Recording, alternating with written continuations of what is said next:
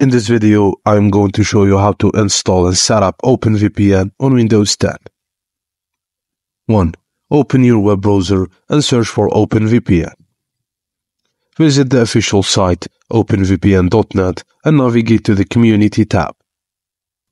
Click on the download option and choose the appropriate version based on your PC configuration 64 or 32 bit.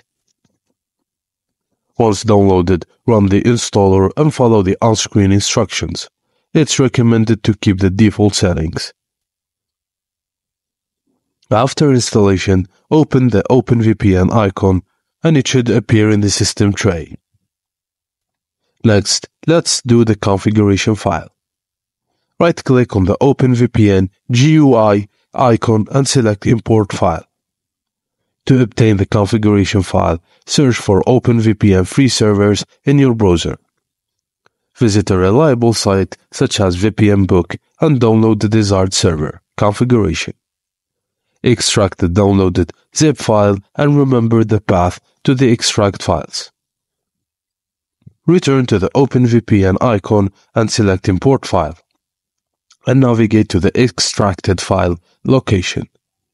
Once imported successfully, right-click on the OpenVPN icon, select Connect, and enter the username and password provided by the server provider.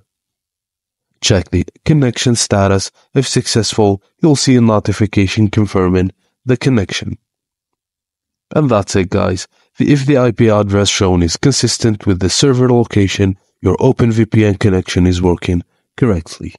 Thank you for watching and please don't forget to like and subscribe for more.